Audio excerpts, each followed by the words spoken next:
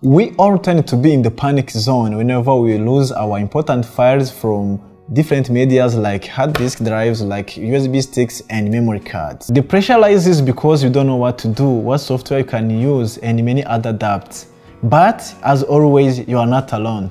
Let's jump to the solutions really quick. Hello once again, welcome back to the channel. If you are new here, my name is Chris aka the IT guy and today I'm going to show you how to recover the deleted files on Windows 11 by using the tools that are like a lot which is now the Tenorshare 4DD data recovery tool. You can get the software link in the first link from the description and get the 30% off on your purchase and I will input the coupon code in there too. To continue with the processes, you're going to jump on the official website to get a copy of the software so as to be able to continue with the data recovery processes.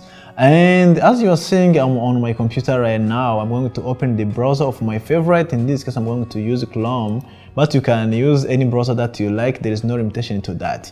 And once I am in my browser in here, I'm going to go ahead and type 4DDiG like this one and press enter. And there will be some uh, search results.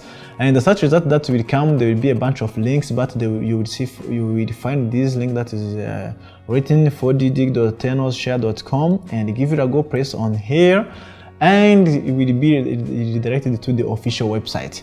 And as you are seeing now, there will be two options for the free version and for the paid versions. But I can recommend you to give it a go and pay it uh, to see all the features. But if you don't have money, you can try the free version to see if now it can get the job done for you. When you scroll down, you will see that it can recover all file types and it can recover from any devices and it can provide you with the, the data integrity, which means there is no change to your data and it can provide you high efficiency with the free preview and it can also offer you a high recovery rate and 100% safe. And you can see all bunch of things in here too. You can give it a go. The link is in the description. And you can see that it was now trusted by a bunch of companies so there is no doubt you can give it a go.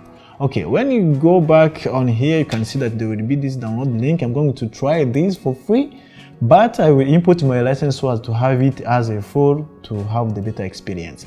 When it asks you to download it, go ahead and press on start download and the download speed will come up on your computer and your internet speed. And in this case, it is done. I'm going to minimize my browser to have a clean workspace like this one. So I'm going to go ahead and press on open and after pressing on the, on the, on the open the setup installer will start. So i will go ahead and uh, i will take this that i have agreed the license agreement. And uh, we have to press on install and it will start the installation. I hope it will not take long. And as i said your the speed of your processor and the, the computer that you are using will facilitate the speed of the installation. So we have to wait for a couple of seconds to, for this process to be done all right cool. And once now this is done you can go ahead and start it. Of course we want to start this Tenorshare 4DDiG so as to see if it will get the job done. I hope it will. And it will also redirect us to the official website so as to to buy the right sense and it will have to tell us the thanks for installing message. And it will give us some of the features that we have seen in some of the pricing. So i'm going to ignore this and close and once we are in here you can see that we list all your drives that you have on your computer. You can connect your flash disk drives your memory cards and all other things. And when you take a closer look to this uh, information bar or info bar you can see that there will be this buy now button and there will be on where to import the license key.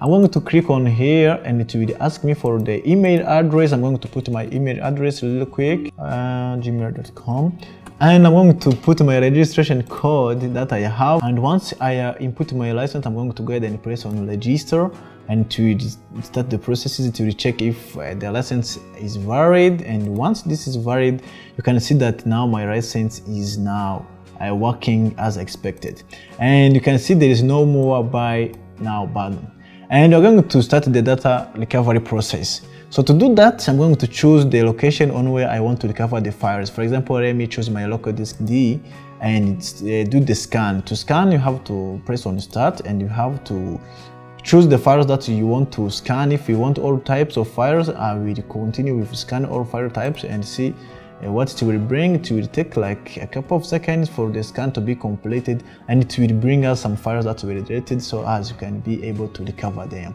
So let's give it a go and we will come back once this is completed.